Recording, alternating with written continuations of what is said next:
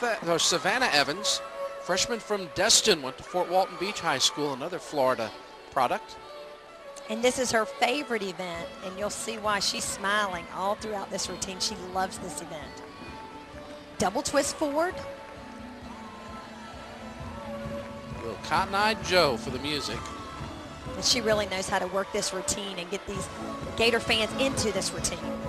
Second pass, one and a half twist front layout.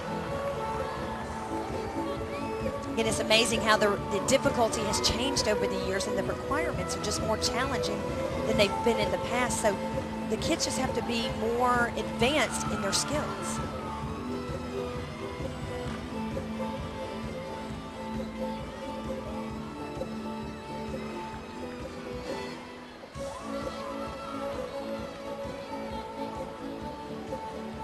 Not only is she athletic, she graduated in the top 1% of her class at Fort Walton Beach High School. You sit and watch these athletes and, and you forget that they're also great students as well. There's that Gator chomp. Taking a breather for that last pass.